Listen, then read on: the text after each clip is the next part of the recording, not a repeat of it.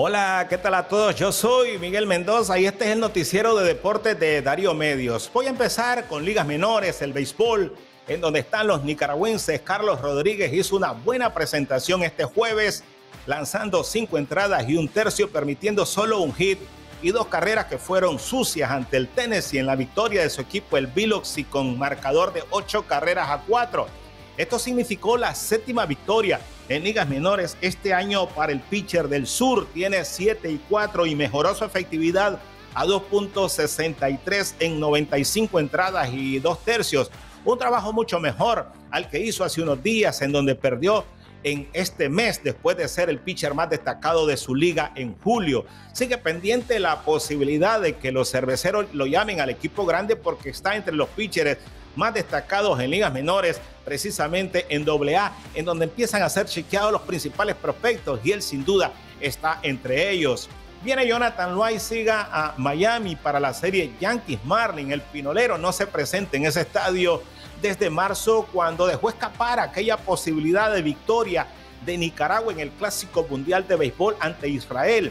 Sin duda, los aficionados pinoleros, que son muchos, que son miles allá en Miami, estarán interesados en ir a presenciar esta serie, porque es la más vista cuando llegan los Yankees a Miami, pero además la presencia del pitcher pinolero, que es uno de los dos nicaragüenses en las grandes ligas, que esta semana subió a las mayores, que ya tiene un episodio perfecto, un relevo que hizo con los Yankees y la promesa de mejorar en lo que resta del año, porque tiene que hacerlo en vista de que necesita una buena presentación para tener un mejor contrato para la próxima temporada. El nicaragüense Jonathan Loaiziga, que lo tendremos en esta serie que arranca viernes y termina el próximo domingo en el estadio Londipo, el estadio de los Marlins. En el fútbol, lamentablemente, en la Copa Centroamericana, los caciques del Diriangén perdieron un gol a cero ante el Comunicación de Guatemala. Lamentablemente no pudieron repetir la buena actuación que hicieron ante el conjunto herediano de Costa Rica.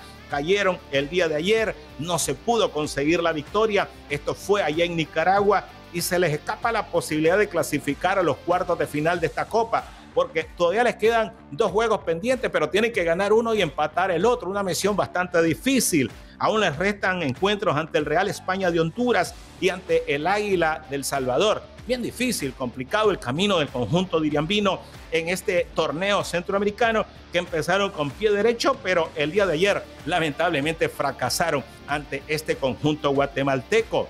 La peor noticia para los aficionados del Real Madrid en el mundo del fútbol, sin duda, la lesión de Tigua Courtois, el arquero estelar del conjunto, se fracturó y estará fuera toda la temporada. Ahora el Madrid anda buscando un nuevo arquero para reponer a su estelar. Sin duda, no es fácil porque se trata de un hombre con mucha jerarquía. Román el Chocolate González aparece clasificado en los cuatro organismos del boxeo. El número uno en el CMB, número cuatro en la AMB, la FIP lo tiene como número cuatro y la OMB como número dos.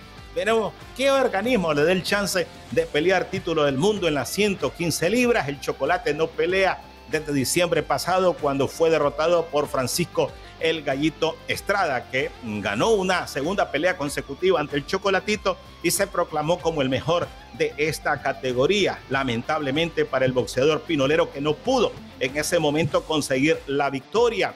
Una pelea importante el día sábado. El pugilista nicaragüense Melvin López tratará de convertirse en el único campeón nicaragüense en estos momentos. Se enfrentará al Poricua en Manuel Rodríguez por el título mundial de las 118 libras de la Federación Internacional de Boxeo. Esta pelea será en Maryland. Tendrá el chance Melvin López, que en su última pelea logró una victoria contundente, se ha ganado el derecho para enfrentarse a Rodríguez, un boxeador que aparece como favorito. No será fácil para este pugilista, pero ahí está el reto planteado para el boxeador pinolero como es Melvin López, que ha estado entrenándose aquí en Estados Unidos, que ha hecho carrera por aquí y tiene la gran oportunidad de convertirse en campeón. No es favorito, pero bueno, ahí está el reto que hace o que tendrá de frente mañana en Maryland el pelotero venezolano Miguel Cabrera, que está en su último año en el béisbol de las grandes ligas, podría convertirse en el segundo latino más hiteador de todos los tiempos si tiene un buen cierre. Le hacen falta 21 hits para desplazar a Adrián Beltré, que aparece como el segundo máximo hiteador latinoamericano de todos los tiempos. El latino con más hit, Albert Pujol, se retiró con 3.384. Después estaba el Trek que se fue con 3.166 y Cabrera tiene 3.145. Estos son los máximos hiteadores latinoamericanos en todos los tiempos. El Pomares, el béisbol nicaragüense que está en la recta final, viendo quiénes son los cuatro semifinalistas, tiene un problema. Teníamos rato de no conocer.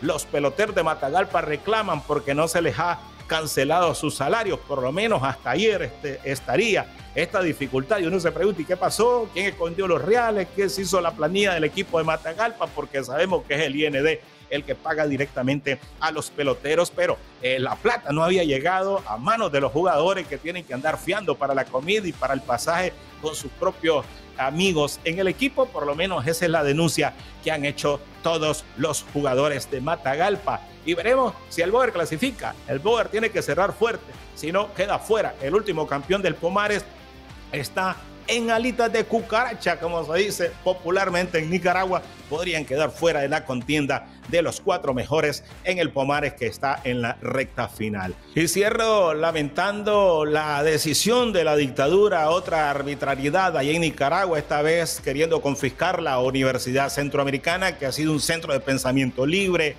progreso.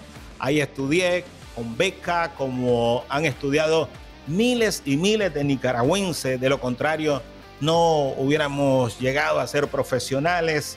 Hay la sociedad en este momento, hay un reclamo general sobre el intento. Primero congelan las cuentas y ahora van por los activos que tiene la Universidad Centroamericana. Y bueno, y ahora uno dice, ¿qué va a pasar con la universidad? ¿En qué se va a convertir? Esto es lo que quiere la dictadura, que no tiene límites con tanta maldad. Ahora todos estamos en este reclamo y uno no entiende hacia dónde quiere llevar a el sector universitario la dictadura de Nicaragua. Todos estamos protestando por esta barbaridad que se está cometiendo allá en el país. Así culmino este pequeño noticiero deportivo en Darío Medios. Mil gracias.